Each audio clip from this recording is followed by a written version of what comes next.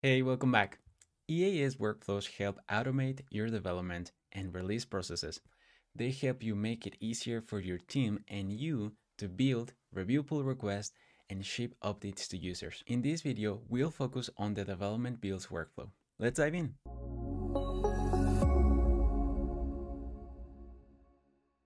In this video, we won't cover how to set up EAS workflows. For that, I'm to leave a link in the description for documentation and a nice video walkthrough. So this is my shopping list application, and I have here the create development builds YAML file that contains three jobs.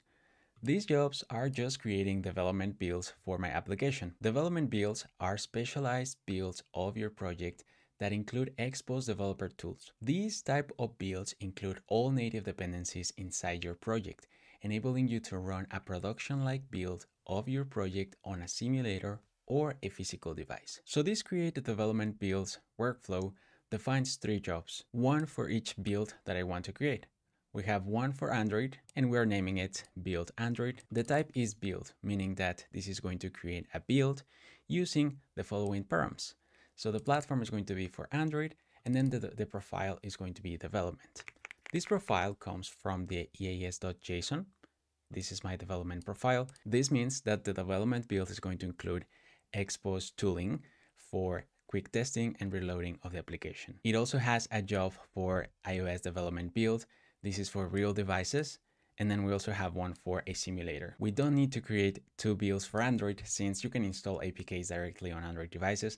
But for iOS, you need to have permissions and an Apple developer account to be able to create application builds that you can install on physical devices. To trigger this workflow, we can do this manually or you can also specify on each push, for example, on any branch, this is going to run all these jobs that we have in here. So in this case, um, I don't want to define any triggers right now. I'm just going to keep this as it is and then trigger this manually using the EAS CLI. So let's open my terminal and say EAS workflow run, passing the path to my YAML, in this case, create development builds and hit enter. And that's it. Now my workflow is in progress. We can check the logs by clicking this link. So this is my workflow and this is how it looks on the Expo dashboard. Once the development builds are complete, this is how it looks. You can come here and inspect each one of these builds and install them on a physical device, simulator, or Android emulator. So let's go ahead and install the iOS build on my physical device. First of all, I'm going to delete the production application that I have here. And then let's open the camera and scan this code.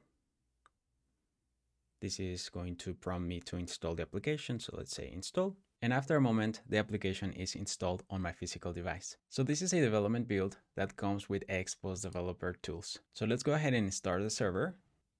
Let's open my camera again. And now scan this QR code. I'm going to allow and press reload. So the first time that we open the application, we need to provide permissions for the network. And this is going to uh, actually start loading from my local host the bundle of my application. So I can press continue.